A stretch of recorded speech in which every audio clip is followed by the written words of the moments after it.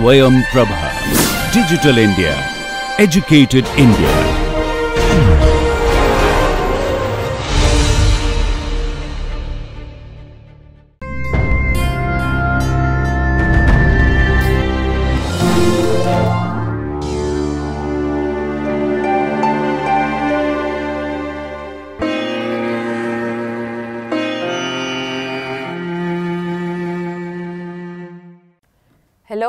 I am Dr. Anupama from the Department of Biochemistry, Kasturba Medical College, Mangalore, Manipal Academy of Higher Education. Today, I shall be discussing the role of enzymes in inborn error of metabolism. Let us quickly go through the frequently used terms and their abbreviations which you will come across in today's discussion. IEM stands for inborn error of metabolism. HMD is hereditary metabolic diseases. AD is autosomal dominant, AR autosomal recessive. Phenotype a set of observable characteristics of an individual resulting from the interaction of its genotype with the environment. First, let us go through the basic concepts about enzymes. Enzymes are proteins that control the rate of chemical reactions in the cell. They function by binding to substrates or precursors and alter their chemical bonds releasing the products. Enzymes play a crucial role in our body they are required for the metabolism of the basic food stuff that we take that is the proteins, fats and carbohydrates. Now, the metabolism is basically required for energy production and consumption processes which takes place in a series of chemical reactions which occur within each cell. All the metabolic events are driven by enzymes which are catalytic proteins. So, basically enzymes are proteins which are biocatalysts. Errors in the normal metabolic processes can lead to deficiency of an enzyme and cause metabolic abnormalities. So, the topic which we are going to discuss today is related to these metabolic abnormalities. Metabolic pathways are required for the maintenance of the human body in a healthy state. So, let us go through the normal metabolic process. Normally, a substrate is acted upon by an enzyme and is converted into a product, but in the process there are various intermediates which are formed. There may be an intermediate 1, intermediate 2, which could ultimately lead to the product formation. So, various enzymes will be acting in this process.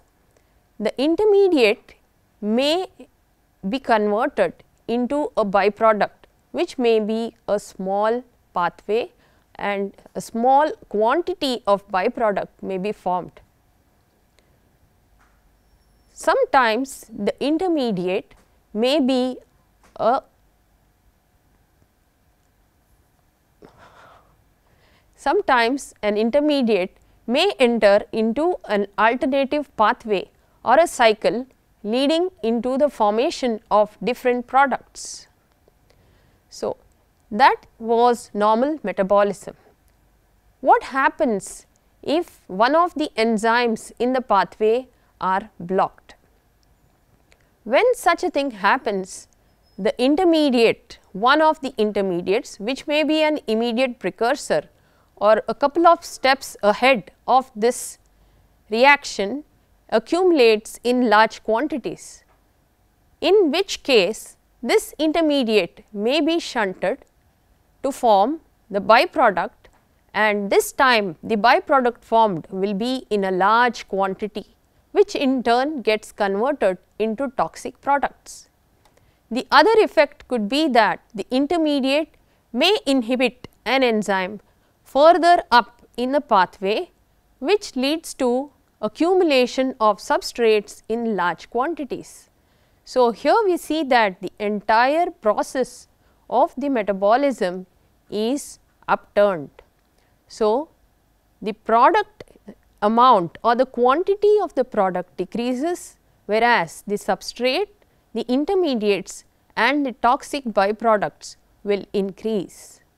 So, the consequences will be that there will be accumulation of large quantity of substrate, there may be deficiency of critical intermediary products, deficiency of specific final product and accumulation of noxious excessive products of alternate metabolic pathways. All the above interfere with normal metabolic functions. At this point of time, I would like you all to walk down the road of history. At the turning of last century, there was an eminent British physician who is also known as the father of inborn error of metabolism. He was none other than Dr. Archibald E. Garrod. He was the first to suggest a link between the genes or the inheritance, the metabolic pathway or the chemical reactions that take place within the cell and the physical traits or the observable symptoms that are seen in any inborn error of metabolism. Back in 1902, Dr. Archibald Garrod described alkaptonuria, a disease which he classified as a lifelong congenital chemical alteration. Later on in 1909, he described other diseases such as cystinuria, albinism, porphyria and pentosuria which he named as inborn error of metabolism or IEM. He used his understanding of alkaptonuria in his reasoning and based on this Dr. Archibald Garrod came to certain conclusions that each individual has a chemical individuality and genes are just not responsible for passing on the traditional inherited traits like looks. There is much more than that which they which we inherit and metabolic disorders have genetic basis. Further progress to this concept came in 1941 when George Beadle and Edward Tatum scientifically proved Dr. Archibald's findings and proposed the theory of one gene, one enzyme concept. This theory proposed that each gene has a genetic information to synthesize a protein namely an enzyme. Even though this is largely correct, but it may not be always. The central dogma of life is the DNA which carries the genes which goes undergoes transcription to produce mRNA this mRNA undergoes translation to produce enzyme or proteins and this enzyme in turn is required for conversion of substrate into products or various metabolic processes. So, mutation in single gene is the genetic basis of inborn error of metabolism. So, what are IEMs? or what is IEM? So, they are a class of genetic disorders that result in dysfunction of production, regulation or function of enzymes or enzyme cofactors. And these IEMs or inborn errors of metabolism cause hereditary metabolic diseases. So, the molecular basis of hereditary metabolic diseases is mainly the genetic mutations in the enzymic enzymatic loci which results in alteration of the structure of enzymes, abnormal regulation of the enzyme protein and problems with the transport, processing or binding of cofactors. So, depending on the residual activity of the deficient enzyme, the origin of the clinical picture may vary starting from newborn period up to adulthood. Coming to the incidence of IEM, there are more than 300 human diseases known today. The number is constantly growing because of various newer identification techniques. The cumulative incidence is about 3 to 4 per every 1000 live births. That means, every 3 to 4 child out of 1000 live births is supposed to have an inborn error of metabolism.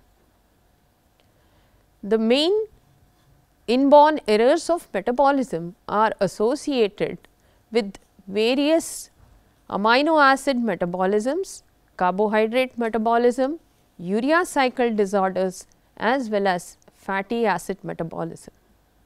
Let us quickly go through the disorders of amino acid metabolism. Now, these are some of the amino acid metabolisms in which the defective enzyme has been identified which has led to clinical manifestation of the disease. Phenylketonuria and alkaptonuria are the most common ones. Alkaptonuria was the first one that was described by Dr. Archibald Garrod. Let us quickly look through phenylketonuria. Now, in phenylketonuria, we have an enzyme defect in phenylalanine metabolism. Here we have a slide which shows the metabolism of phenylalanine. So, phenylalanine is converted into tyrosine with the help of an enzyme phenylalanine hydroxylase. The coenzymes required for this process are tetrahydrobiopterin which has to be converted into dihydrobiopterin. There should be a continuous regeneration of tetrahydrobiopterin for the conversion of phenylalanine to tyrosine. So, any blockage in this pathway due to the defect in phenylalanine hydroxylase enzyme leads to accumulation of phenylalanine and a condition called as phenylketonuria. There are various classes or types of phenylketonuria. Type 1 to 3 are due to the defect in the enzyme itself phenylalanine hydroxylase enzyme. Type 4 is due to defect in the regeneration of tetrahydrobiopterin which acts as a coenzyme for the enzyme phenylalanine hydroxylase. Type 5 is because of biopterin synthesis defect. So, here we see that a defect in the enzyme, defect in the coenzyme as well as defect in the synthesis of the coenzyme can all lead to an inborn error of metabolism. Similarly, in alkaptonuria again we go back to phenylalanine metabolism. Here tyrosine is converted into an intermediate called as homogentisic acid.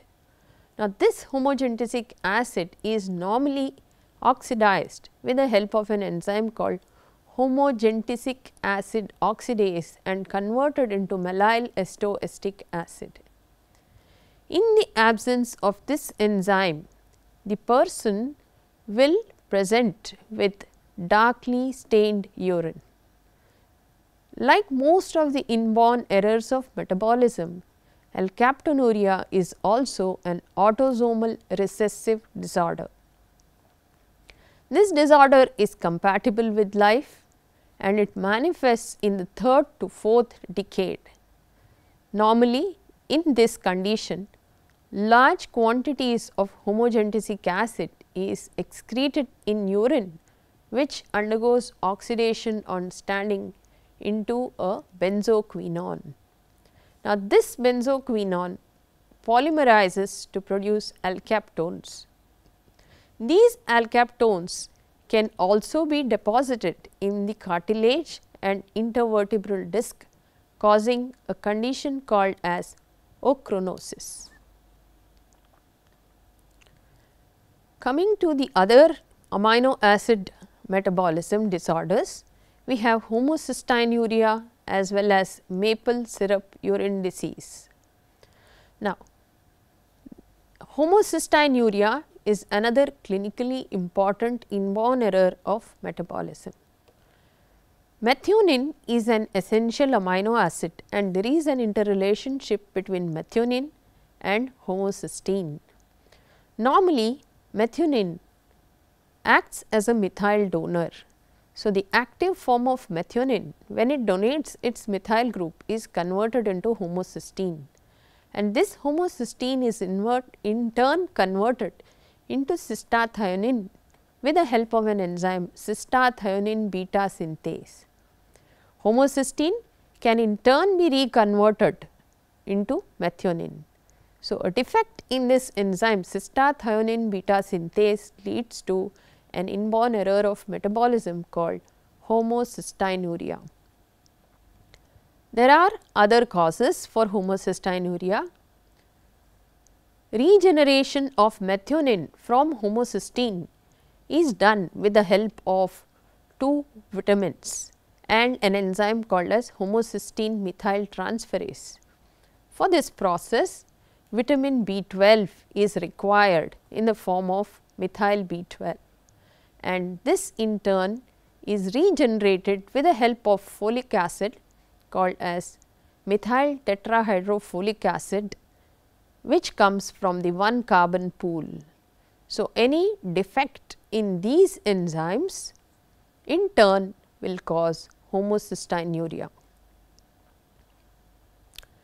Maple syrup urine disease is another important inborn error of metabolism involving branch chain amino acids like leucine, isoleucine and valine.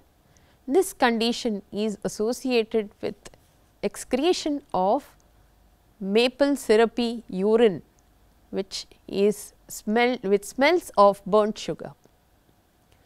Similarly, we have urea cycle disorders again which are due to enzymes of the urea cycle. Any defect in these cause urea cycle disorders. Carbohydrate metabolism.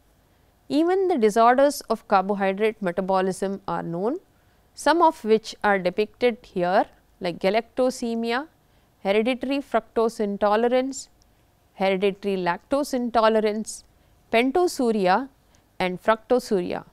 Again we see that they are all due to various enzyme defects. So, for the diagnosis of an IEM, we need to know the pathways of various amino acids, carbohydrates and lipids. Clinical symptoms may sometimes be misleading. So, definitive diagnosis depends on enzyme assays or genetic tests. Suitable blood and urine samples are required for investigations and they need to be collected at the right time in relation to the course of the disease. Biochemical diagnosis of IEM is mainly done with the help of simple urine tests to detect the toxic metabolites and intermediates rather than the enzyme.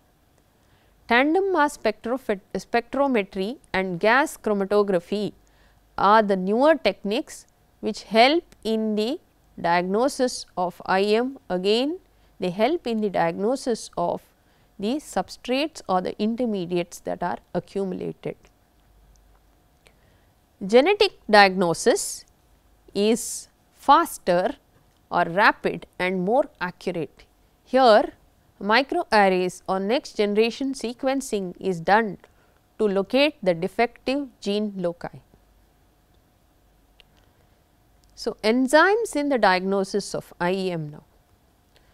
So, for example, enzymatic assay of galactose 1 phosphate uridyl transferase in blood can be done to diagnose galactosemia.